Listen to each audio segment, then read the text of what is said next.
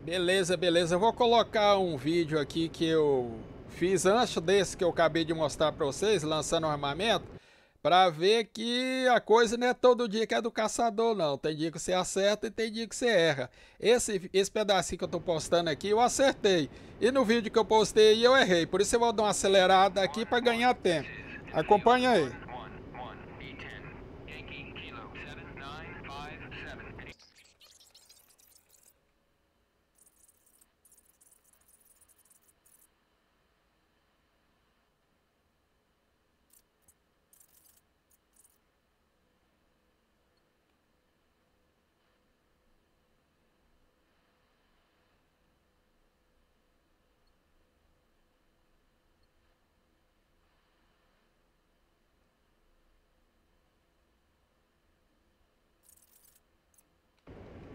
Beleza, agora eu vou lançar armamentos e vocês vão ver que é, o me é a mesma missão, só que aqui eu acertei.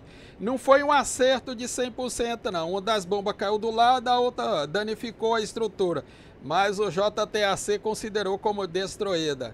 A bomba vai descer aqui, esse aqui é um pedacinho do vídeo anterior que eu tinha feito. Acompanha aí.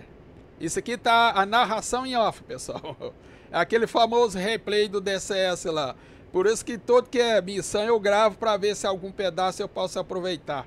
Nesse caso aqui eu tive de aproveitar porque eu errei o alvo. E para não ficar feio no vídeo, eu estou colocando um pedacinho aqui porque no, na, eu tinha feito um pré-teste e tinha acertado o alvo. E aqui ele tinha errado. Então eu mostrei isso aqui para mostrar para vocês que nem todo dia no DCS é dia de caçar. Tem dia que você acerta e tem dia que você erra porque o tempo aqui está fechado, neblina, então é normal errar. Não esquenta a cabeça não, filho. O esforço de guerra diz assim, errou o alvo, vamos dar condições para outro ataque. Acompanha aí.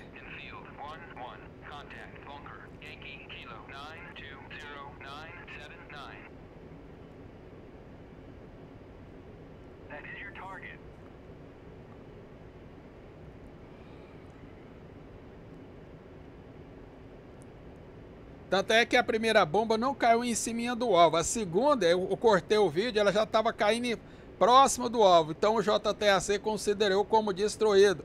Porque a GBU-31 é uma bomba de penetração. Acompanha aí, ele vai mostrar para nós aqui. A contagem na T-O-O.